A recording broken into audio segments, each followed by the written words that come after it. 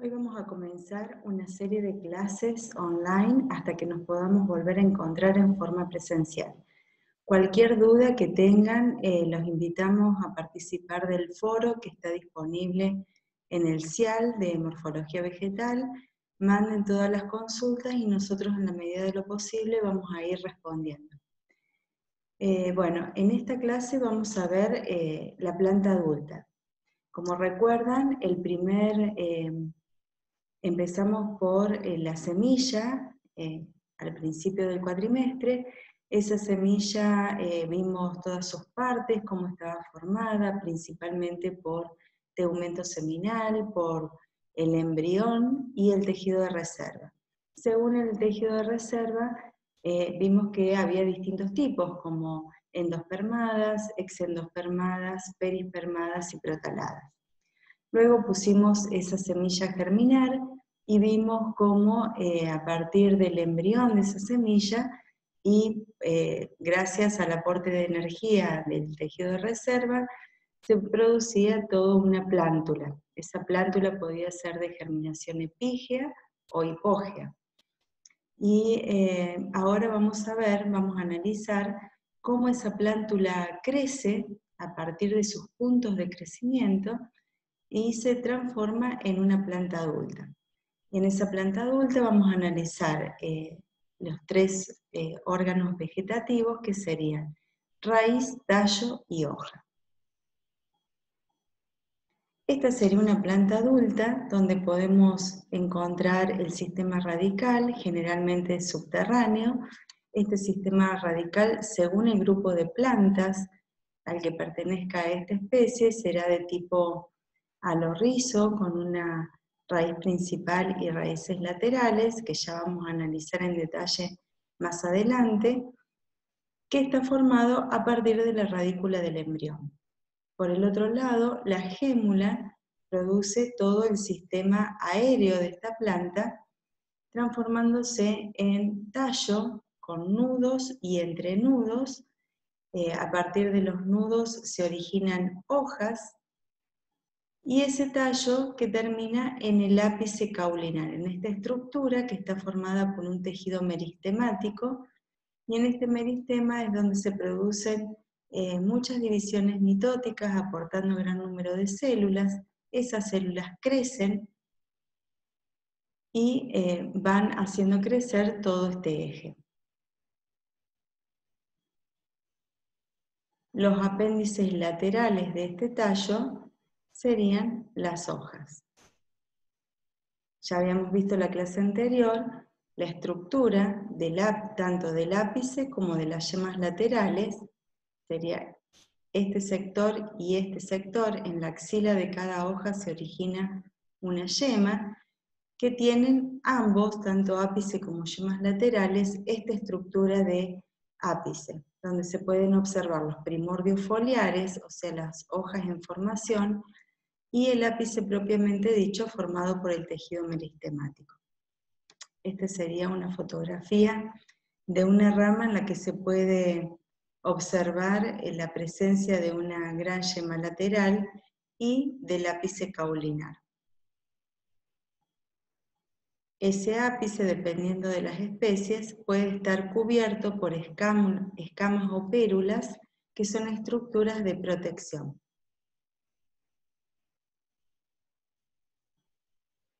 Acá de nuevo tenemos el dibujo de una planta adulta con todo su sistema radical, el hipocótilo que ya lo habíamos analizado cuando vimos plántula, que sería el entrenudo que está inmediatamente por debajo del nudo cotiledonar.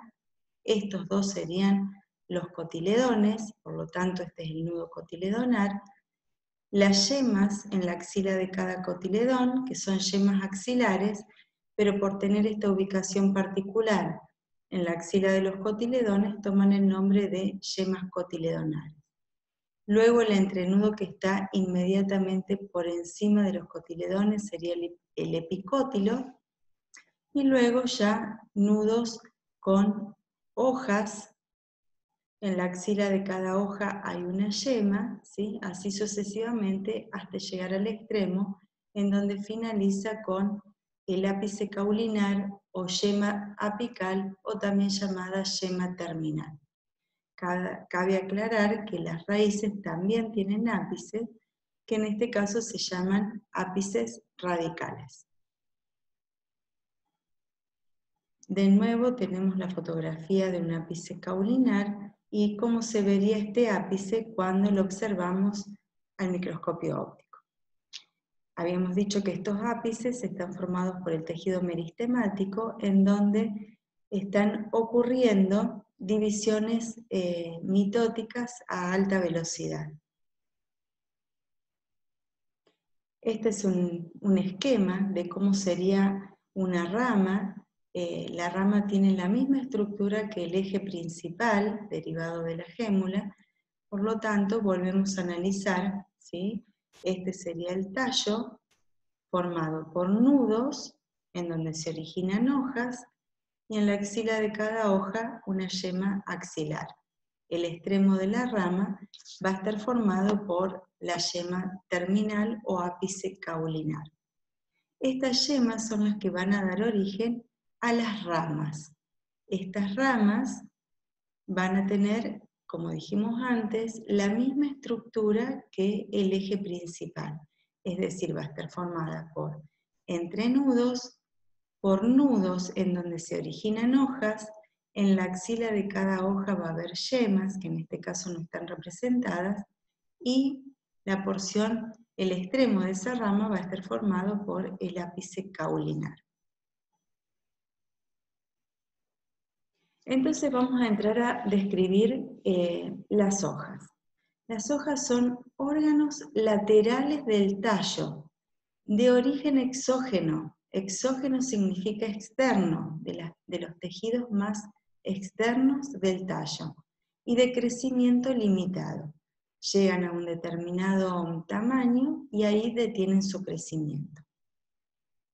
La función principal es la fotosíntesis porque eh, cuando tengamos oportunidad de observarla al microscopio, vamos a ver que está formada principalmente por un tejido denominado clorénquima que tiene gran cantidad de cloroplastos.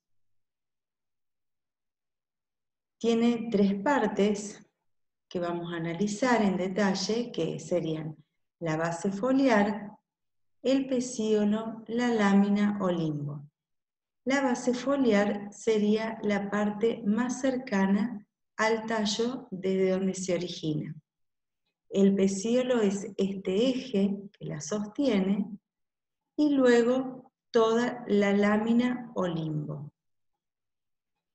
Por supuesto, en la axila de esa hoja la presencia de una yema, ¿sí? y esta se va a fusionar al tallo en la zona denominada nudo. Si tiene pecíolo, esta hoja se denomina hoja peciolada. En el caso de esta fotografía no tiene pecíolo y por lo tanto la hoja se llama sésil o sentada. Hay distintos elementos diagnósticos en la hoja para poder caracterizarla y estos elementos son muy importantes en botánica cuando se em, intenta identificar a las distintas especies. O sea que la hoja aporta mucha información para poder diferenciar especies. Estos elementos diagnósticos se concentran en la base foliar, según las características que está presente, la forma de la hoja también tiene gran importancia, los bordes foliares, el tipo de hojas, ya vamos a ver cuándo se le llama una hoja simple o cuándo se le llama compuesta.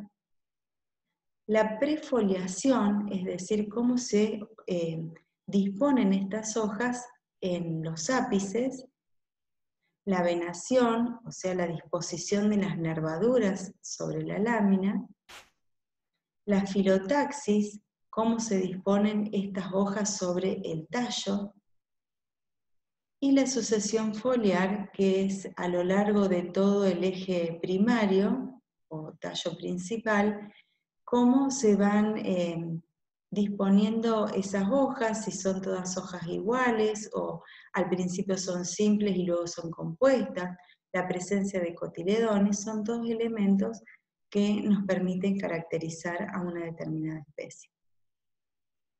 Vamos a comenzar por describir la base foliar. Las estípulas son estructuras que pueden aparecer en la base foliar. Base foliar dijimos que se le llama a la parte proximal de la hoja. Proximal se, le llama a la parte que está próxima al tallo o próxima específicamente al nudo del tallo desde, desde el cual se origina. Estas estructuras foliosas, que en este caso son triangulares y que están en la base de la hoja, se llaman estípulas. Estas estípulas siempre aparecen de a pares. Hay especies que presentan estípulas y hay especies que no presentan estípulas. Las ócreas son otras estructuras que pueden aparecer en la base foliar y generalmente se dan cuando las estípulas son muy grandes y se fusionan al otro lado del tallo, creando esta estructura que abraza totalmente al nudo y una partecita mínima eh, del entrenudo. O también pueden aparecer vainas, ¿sí? que son estructuras que se parecen a láminas, pero tienen la particularidad de que abrazan al tallo. Están en la parte proximal, ¿sí? Y abrazan completamente al tallo.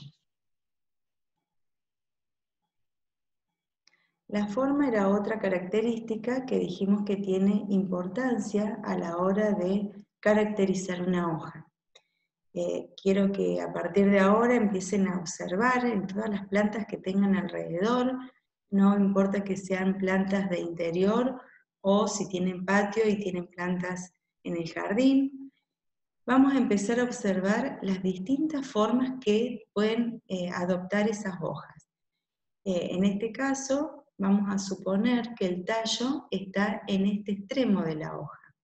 Entonces vemos que aparecen hojas que pueden ser aciculares, porque tienen hojas de eh, formas de aguja, lineares, oblongas, elípticas, lanceoladas cuando tienen forma de lanza, oblancioladas, fíjense este prefijo ob. Significa que sería la misma forma que la anterior, o sea que sería lanceolada, pero en el sentido contrario. Ovada, o bobada, ¿sí? Cuando tiene la misma forma ovada, pero en el sentido contrario que la anterior. Cordada, cuando tiene forma de corazón. Triangular, sagitada cuando tiene forma de flecha. Eh, nosotros no vamos a hacer mucho hincapié en esto, pero todo esto le va a ser de mucha utilidad cuando estén cursando botánica y les permita identificar especies. Los bordes, fíjense la gran cantidad de bordes diferentes que podemos encontrar y estos son solamente algunos ejemplos. Por ejemplo, el primero que se le llama borde entero, ¿sí? El segundo es un borde dentado porque tiene forma de dientes. Al tercero se le llama acerrado porque tiene forma de sierra. Cerrulado, que es igual al anterior, pero esos dientitos son mucho más chiquitos.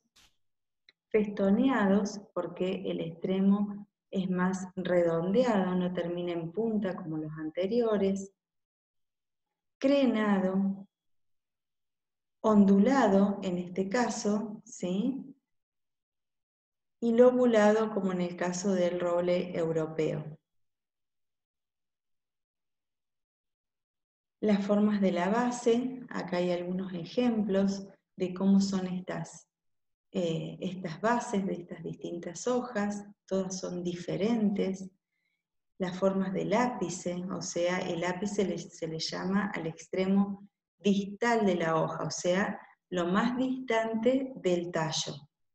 Habíamos visto que la base de la hoja era el extremo proximal y el otro extremo sería el extremo distal, que sería el ápice.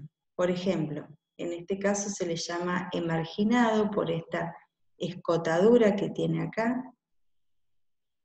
O podríamos hablar de bordes acuminados cuando termina más en punta, o caudados cuando termina en punta, pero esa punta es mucho más pronunciada. La venación, ¿sí? La venación se refiere a eh, la disposición de las nervaduras sobre la lámina. Esa lámina que está recorrida por venas o nervios o nervaduras, son todos sinónimos. Y acá vemos que en el caso principalmente de las gimnospermas, como el pino, podemos hablar de hojas uninervadas porque solamente están, eh, eh, poseen un nervio o una nervadura. Uni se refiere a eso, a que tiene uno solo. U hojas plurinervadas, pluri significa muchos, o sea que tiene muchas nervaduras, como en el caso de el Jingo biloba en las gimnospermas, ¿sí? que tiene una venación abierta, cuando esas nervaduras terminan eh, en forma abierta, o la venación cerrada, en el caso de las magnoliófitas, tanto magnoliópsidas o dicotiledóneas, que en ese caso tiene venación reticulada porque forma una red, o liliópsidas monocotiledóneas, que tienen una venación paralela o estriada. Ahora ya vamos a ver ejemplos de cada una de estas. Dijimos venación abierta en el caso del Shingo biloba. Las venas terminan libremente. ¿sí? Acá en el dibujo se puede apreciar que estas venas, cada una va terminando en forma abierta, es decir, que no se fusiona con la que tiene al lado. Este es el caso, se dice, de una hoja flabeliforme porque tiene una forma de bandera. Acá tenemos la, fotografía. Vemos que tiene un pecíolo y la lámina y claramente se ven que estas nervaduras terminan en forma abierta.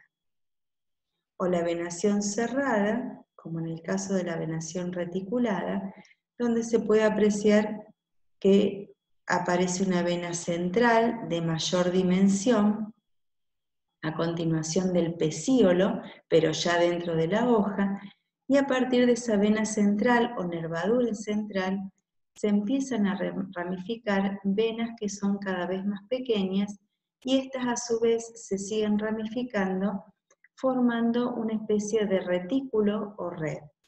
Estas nervaduras no terminan en forma abierta como en el caso anterior, sino que se van fusionando a todas las venitas haciendo todo un circuito cerrado. En el caso de las liliópsidas o, eh, monocotiledóneas, también presentan una nervadura central ¿sí? de mayor diámetro, pero todas las venas laterales, fíjense que eh, se disponen en forma paralela. Por eso estas hojas se las llama eh, de venación paralela o hojas paralelinervadas. Habíamos hablado también de los tipos de hojas. En este caso eh, sería una hoja simple. Fíjense, esta hoja que se dispone sobre el tallo, ¿sí? específicamente en, en la zona que se denomina nudo, y la estructura que va a indicar que esto es una hoja simple es la presencia de la yema axilar. Si esta yema se ubica en este sector, en la axila de toda esta hoja, a esta hoja se la denomina simple, porque vemos que no está dividida. Esta lámina forma una sola estructura. En este caso, esta hoja va a estar formada por pecíolo y la lámina o limbo. Y por supuesto, estas hojas tienen nervaduras por lo que a esta hoja se la podría describir como una hoja peciolada, cordada, porque fíjense que tiene forma de corazón, de borde aserrado y de venación reticulada o directamente podemos decir hoja retinervada. típica de las dicotiledones. Este es otro ejemplo de hoja simple. Vemos que está dispuesta sobre el tallo, específicamente en el nudo, y va a estar formada por una lámina o limbo, un corto pecíolo, y la podemos describir como hoja brevemente peciolada, brevemente porque ese peciolo es corto, el borde también es aserrado y la forma es lineal lanceolada. También le podríamos agregar que es retinervada. Este es un ejemplo de la familia poligonáceas, donde también vemos que la hoja es una hoja simple formada por la lámina o limbo, la venación es reticulada o retinervada, presenta pecíolo y en la base foliar la presencia de ocrea. Y este es el ejemplo de la pimienta o de la familia piperáceas en general, ¿sí? donde también vemos que la yema se ubica en este sector, en la axila, y por lo tanto es una hoja simple formada por pecíolo y lámina de venación retinervada o reticulada. Las gramíneas tienen un tipo de hoja muy característico que va a estar formada por la vaina, ¿sí? que ya lo habíamos visto como estructura de la base foliar, la lámina, que es la parte de la hoja que se separa del tallo, y en el medio de las dos, esta estructura que aparece acá membranosa, que se denomina lígula. Esto es característico de todas las especies de las gramíneas. Esta lígula es un apéndice que puede ser membranoso o piloso y está situado en el límite interno entre la vaina y la lámina, como también se puede observar en esta fotografía. Este es el caso del maíz, ¿sí? la hoja del maíz, donde se puede apreciar la parte de la vaina que abraza tanto al nudo que le dio origen como a parte del entrenudo, la lámina, que es la parte de la hoja que se separa del tallo, y en el medio, en el límite interno entre lámina y vaina, la presencia de la lígula. Ahí está la, la lámina y la vaina. Esta es otra especie donde también va a estar formada por la vaina, la lámina, la lígula, que es esta estructura que se encuentra acá, y aparecen otras estructuras que se denominan aurículas y que son estos apéndices y que se encuentran a los costados de la lígula. Estas estructuras, dependiendo de la especie, pueden aparecer o no.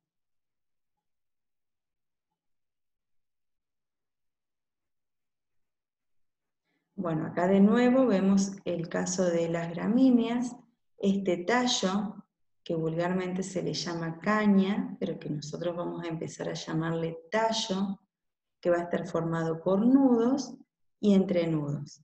En el nudo se origina esta hoja, ¿sí? que va a estar formada por esta parte que se separa del tallo, que se denomina lámina, la vaina, que abraza, esta vaina abrazadora puede cubrir el entrenudo, ¿sí? Y pudiendo ser esta mayor o menor que este entrenudo. En este caso que está representado acá, cubre una parte del entrenudo. Pero en otras especies puede ser que cubra por completo este entrenudo. La lígula, este, esta estructura que aparece entre la lámina y la vaina. Y acá vemos cómo esta lígula es una estructura que permite diferenciar botánicamente a los distintos taxones, como el caso de las ciperáceas, fíjense cómo es esa lígula en la cebada, en la cetaria, que es la flechilla, o en el caso de Eragrostis, que sería el caso del pasto llorón. También habíamos visto como elemento diagnóstico la prefoliación, o sea, la disposición de las hojas en la yema. Esta yema puede ser tanto la yema terminal o ápice caulinar como la yema axilar que se encuentra en la axila de cada hoja. En el caso de las gramíneas, tengan en cuenta que la yema no está ubicada acá. La yema siempre se origina en el nudo, en este caso no la vemos porque queda cubierta por esta vaina que abraza al tallo. Si la quisiéramos ver, tendríamos que retirar toda la vaina, ¿sí? Para poder encontrarla ahí adentro. Bueno, volvemos a la prefoliación. Dijimos que es la disposición de las hojas en las yemas. Y hay dos formas. Con duplicada, fíjense que acá sería como un corte transversal del ápice o de la yema y vemos los distintos primordios foliares, ¿sí? cómo se van eh, ubicando, en este caso, plegadas unas adentro de la otra. A este tipo de prefoliación se le llama conduplicada. En contraposición con la prefoliación convoluta, que fíjense que esto también es un corte transversal del ápice, pero se van ubicando en forma helicoidal, van formando eh, una hélice o una espiral, como se puede observar en estas fotografías. Estos serían los ápices como los veríamos a simple vista, y así como si a esto lo cortamos transversalmente y lo vemos desde arriba. En este caso sería la conduplicada, ¿sí? Vemos una hoja plegada y la siguiente plegada adentro de la primera y así sucesivamente. Y en este caso, si cortáramos transversalmente acá y lo miráramos desde arriba, veríamos que forma todo un espiral. En este caso se le llama convoluta. Bueno, vamos a ver más ejemplos de aurículas que dijimos que son los apéndices a los costados de la lígula, la lígula acá quedaría cubierta por el tallo, ¿sí? Estas aurículas pueden ser de mayor o menor tamaño y eso sirve como elemento diagnóstico a la hora de identificar especies. En este caso sería la vena sativa, que carece de aurículas. Fíjense que en todos los casos vemos la presencia de la lígula, ¿sí? Pero las aurículas van cambiando. En este caso no tienen. En el caso del Bromus catárticus, ¿sí? las aurículas tienen entre 1 y 2 milímetros. En el caso de la cebada, tiene aurículas glabras, que significa que no tienen pelos, muy grandes, de más de 3 milímetros, están muy desarrolladas, como se puede ver acá. En el caso del trigo, que tiene aurículas entre un milímetro y medio y dos milímetros y medio, del centeno, aurículas de un milímetro y medio, o del lolium perenne con aurículas muy pequeñas. ¿sí? Todo esto es lo que toman los botánicos para poder identificar las distintas especies. Y acá vamos a finalizar esta clase los invito a participar a través del foro y mandarnos sus consultas. También tienen disponibles eh, mi mail, también me pueden canalizar las preguntas por el mail y eh, seguimos en contacto. A medida que vamos eh, avanzando con los videos, se los vamos a ir cargando en este canal de YouTube que les dejamos el enlace en el CIAL.